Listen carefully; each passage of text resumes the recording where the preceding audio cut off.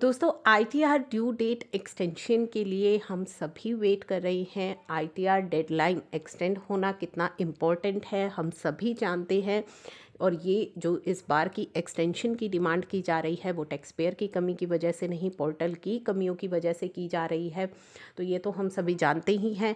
तो काफ़ी सारी जो न्यूज़ सर्कुलेट हो रही है, काफ़ी सोशल मीडिया पर इस तरह के मैसेजेस आ रहे हैं कि जो आईटीआर ड्यू डेट है, वो एक्सटेंड होने वाली है और ये एक्सटेंशन अनाउंस होने वाली है एक दिन में, दो दिन में और ये डेट जो है पंद्रह दिन के लिए एक्सटेंड होने वाली है। इस तरह के मैसेजेस मैं देख रही हूँ।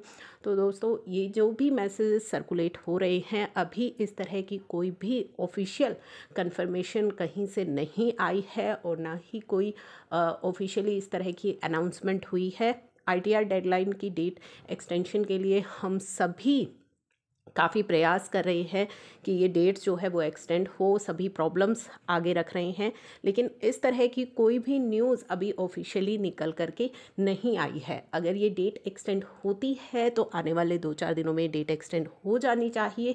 अगर नहीं होती है तो आप सभी को अपनी आईटीआर फाइलिंग जो है वो करते रहना है। रुकना नहीं है कि, क्योंकि इस तरह की जो न्यूज़ है उसकी अभी कोई भी ऑफिशियली इस तरह की कोई कन्फर्मेशन नहीं है। तो आप ये सभी न्यूज़ में बिलीव करके अपनी आईटीआर फाइलिंग को पोस्टपोन मत कीजिएगा, अपनी आईटीआर फाइलिंग को कंटिन्यू रखिए। अगर डेडलाइन एक्सटेंड होगी तो उसका अपडेट आपको मिल जाएगा। तो तब तक आप अपनी जो आईटीआर फाइलिंग है, उसको जारी रखिएगा।